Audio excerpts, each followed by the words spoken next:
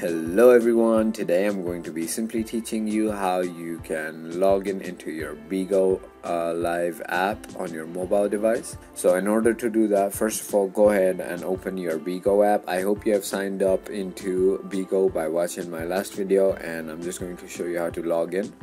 In order to log in, you'll have to enter your phone number that you entered while you signing up and then finally enter your password as you can see once you have entered your password there is also going to be a, a, login button right over here or you could also log in via verification code which is basically Bigo Live sending a verification code to your mobile number that you entered. So basically it will log in even if you forgot your password but we will simply click on login after entering the password and as you can see I have successfully logged in into Bigo Live. If you thought this video was informational feel free to hit that subscribe button hit that like button and thank you for watching